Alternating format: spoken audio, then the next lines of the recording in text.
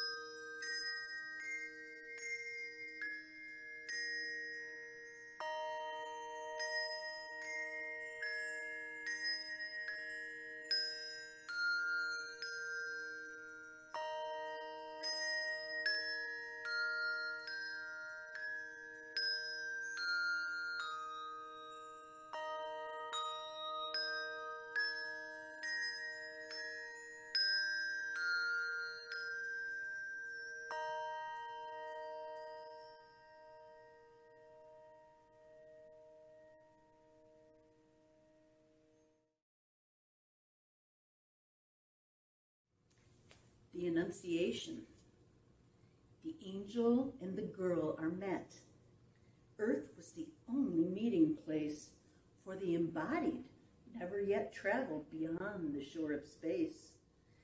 The eternal spirits in freedom go.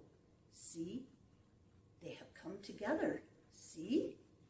While the destroying minutes flow, each reflects the other's face, till heaven and hers and earth in his shine steady there. He's come to her from far beyond the farthest star, feathered through time. Immediacy of strangest of strangeness is the bliss that from their limbs all movement takes. Yet the increasing rapture brings so great a wonder that it makes each feather tremble on his wings. Outside the window, footsteps fall into the ordinary day, and with the sun along the wall, pursue their unreturning way. Sounds perpetual round about, rolls its numbered octaves out, and hoarsely grinds its battered tune. But through the endless afternoon, these neither speak nor movement make, but stare into the deepening trance as if their gaze would never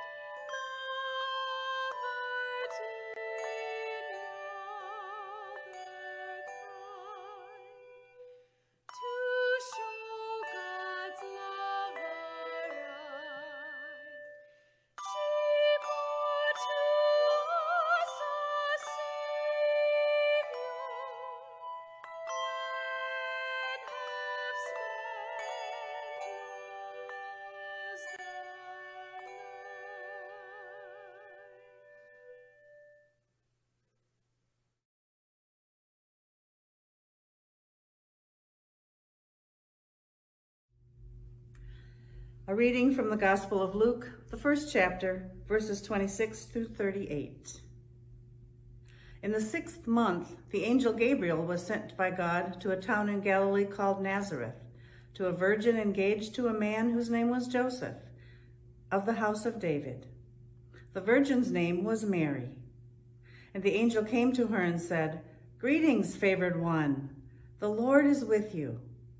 But she was much perplexed by his words and pondered what sort of greeting this might be. The angel said to her, Do not be afraid, Mary, for you have found favor with God.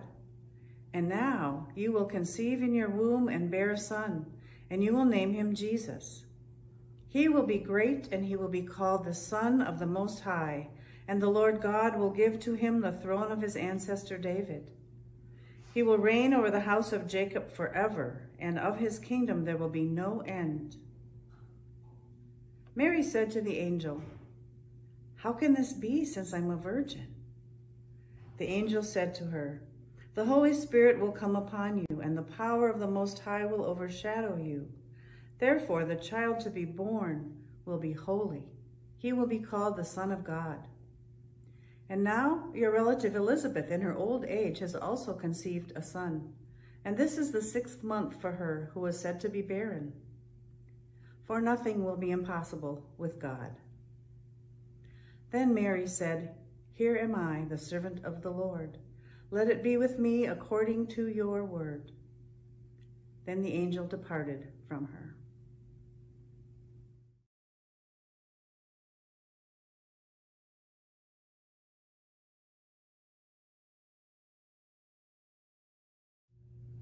Promise of Jesus. I can almost hear the kids as they come down on Christmas morning excited about Christmas. Maybe they're excited about family members who finally arrived because we can finally get together this year. But I can almost hear those words. But maybe we need to change them a little bit and not talk about who's coming, but God is coming. Not brother or aunt or grandma or grandpa, but God. God is coming. Can you feel that? That excitement? That there is a light that the people in darkness couldn't ignite, that they couldn't inflame and couldn't fabricate? That light you can only find, and it's coming. It's coming like the light behind me. You know, Ann Voskamp writes these words Christmas can only be found. Christmas cannot be bought. Christmas cannot be created. Christmas cannot be made by hand, lit up, set out, dreamed up. Christmas can only be found. Found in the creche, found in the mire and the stench of those unexpected and only in the dawning of the birth of Jesus. You know, the name of Jesus means God saves. On this fourth Sunday of Advent, the promise of Jesus is that God saves. Who was Jesus? God saves. What did Jesus do? God saves. You see, Jesus wasn't just godly or godlike or God focused. He was God. And he wasn't just a servant of God or an instrument of God or a friend of God. Jesus was God. God saves. It's not that God empathizes or God cares or listens or helps or assists. But Christmas is about God saves. God will save his people from their sins. And Jesus came to save us, not just from politics or enemies or challenges or difficulties. He came to save us from our sins. God saves. That's the promise of Jesus. Because if we could save ourselves, why would we need a Savior? Jesus didn't enter the world to save us. Jesus did not enter the world to save us, save ourselves. He entered the world to save us from ourselves. So how do we prepare for the Savior's coming? Well, our reading today from, from John, or from Luke, actually, I guess, is about Mary. In the Advent, we remember that Mary became a space for the Savior. She simply said these words I am the Lord's servant. May it happen to me as you have said. And then the angel left her. Mary just became a space for the Savior. The temptation we have at Christmas is that we think we need to produce something, perform something, perfect something. Maybe we simply need to become a place for God,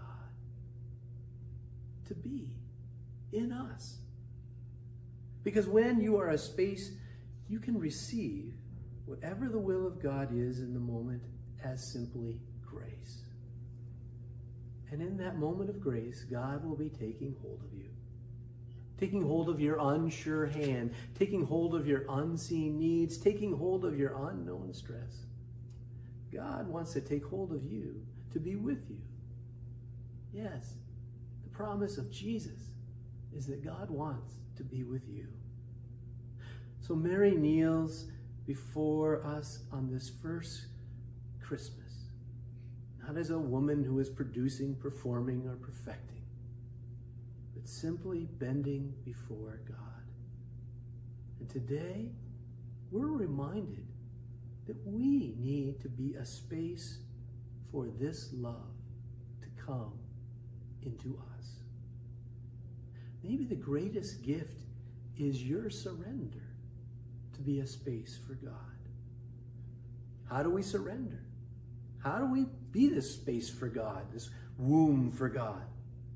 Well, I'm going to challenge you to take five minutes today to make space, to find stillness, and to be silent before God. What do you need to surrender to make space for Jesus, to be a womb for him in your life? Maybe you begin by asking God to fill you with love and grace. The second challenge is I'd like you to give five minutes of space for someone else and let them fill all of your attention. Who is the one person you need to make space for today? Someone who has been crowded out by the busyness of the season.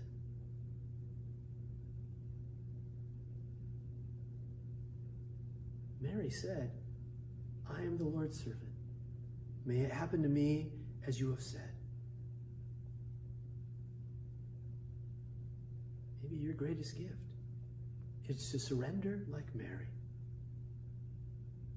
And as we wind this fourth Sunday or this fourth Advent down, that we simply allow ourselves to be a space for God.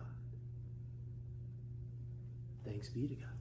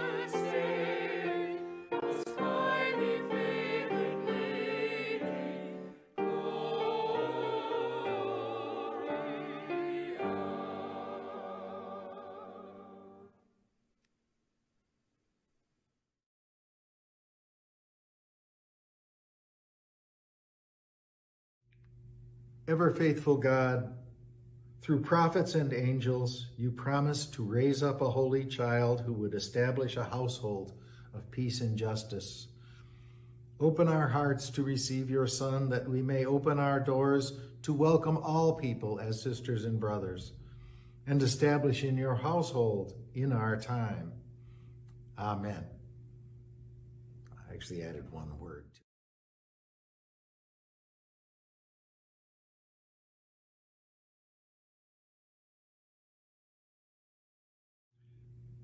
May starlight guide your steps toward place of wonder. May angels sing their news as you travel to the manger.